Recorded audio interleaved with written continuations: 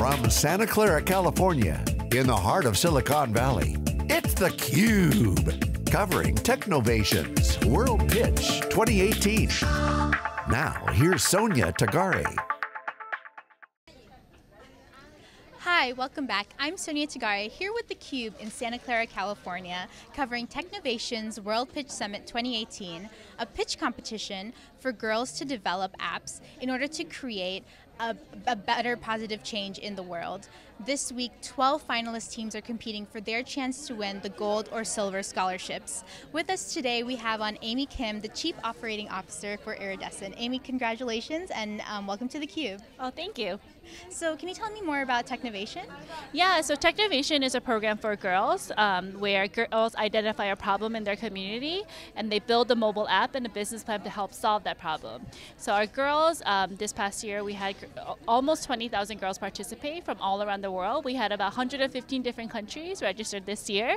So we've had really big growth and uh, we are in a ninth year of operation for this program and Iridescent, who's our mother organization, we're about 13 years old.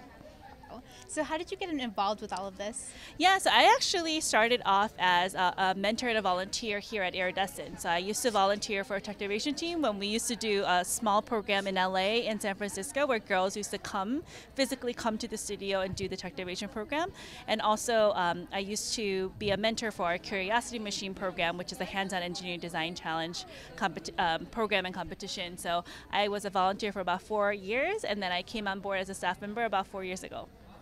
And um, what have you noticed has been the change from like when you came on to now?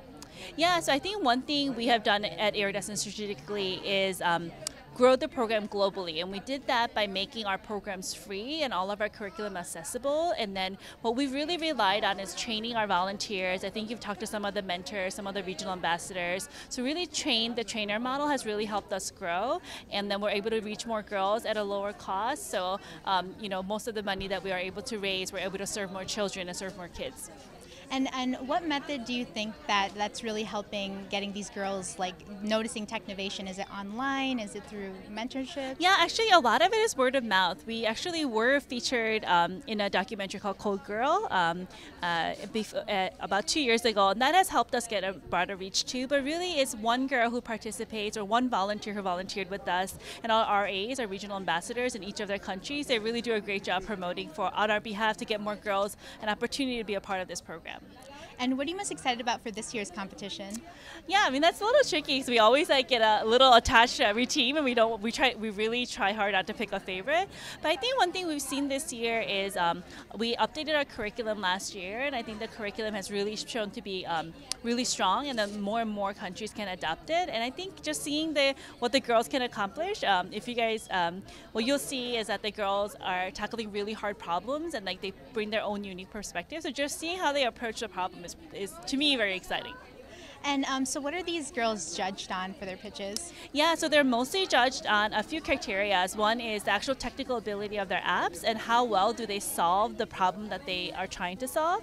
And also, what is their business plan? Like, is this a doable thing? Does this business already exist? What is unique? So, um, so there'll be a little bit on public speaking, also how they present themselves, and actually an actual technical ability of their apps as well. That's great. And um, so, what do you uh, what what do you hope Technovation will bring for the greater girls in tech community?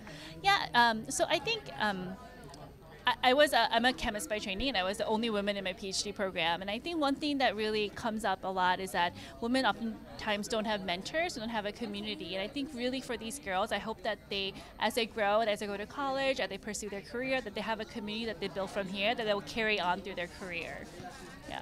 And um, what success stories do you have from past Technovation winners? Oh, that's a that's a tricky question because we have so many. Um, so I think um, we have a um, sorry, I'm trying to remember her name. Mm-hmm. Um, we have a student who participated about four years ago, and she built an app to help Alzheimer patients. And what she has done is she has actually created a startup, and it's been featured in New York Times before. Um, and I, so we have stories like that, but we also have stories like in the slums of India where girls don't have internet. You know, they don't have power every day. So what they will do is they will code actually on post-it notes, and then when the power will come on, they will like turn on their internet, and they will be able to code it on, on App Inventor all together in that one hour.